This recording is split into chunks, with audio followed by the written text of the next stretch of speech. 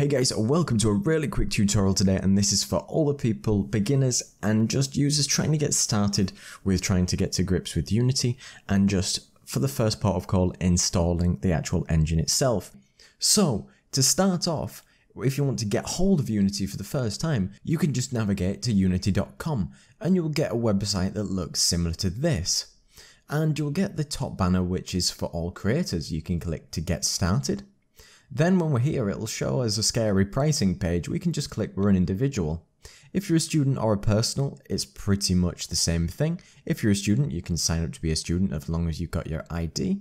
Whereas if we just want the personal version, and the personal version is valid, as you can see here, with revenue of less than $100,000 per year in or in a 12 month period, we can get hold of this and we don't have to pay into the pro version of the license. So we can just click get started then when we get this page here, we can choose that if we're a first time user, we can start here and it will give you a fun and sort of interactive experience in how to use the editor, the engine, and all the things from there. And if you're a returning user, you can go here and you'll just run through the installation without any sort of added information. For new users, you can check out the journey on picking a micro game to be able to learn different elements of the engine, but it will show it from there. So for first time users, you can click start here, you'll just agree and download, and you'll get the Unity Hub setup, which will just download in the background which is around 60 or 70 megabytes or so, and once that's downloaded, you can open that up.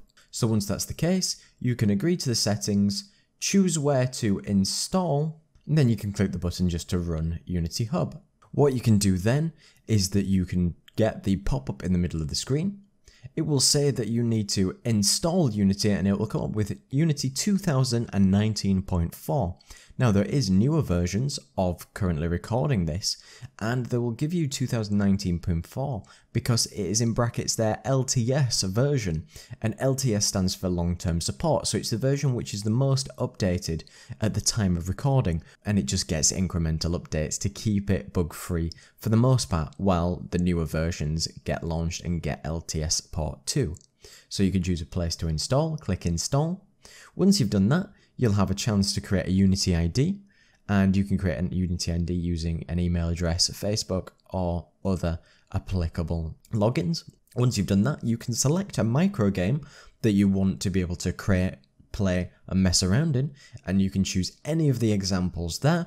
And once Unity has completed downloading and installing, you can just click launch, and then you can launch the editor for the first time and it may take a little time just to load everything up but once you're there you can follow the steps to learn about the engine. So that's everything that you need to know about installing Unity and I will have some videos about explaining about the different types of projects that you can do for the render pipelines and anything else so you can check that out if you need some help and I will leave a links in the description if those videos are not already available. So thanks very much for watching and don't forget to like, comment and subscribe. Cheers.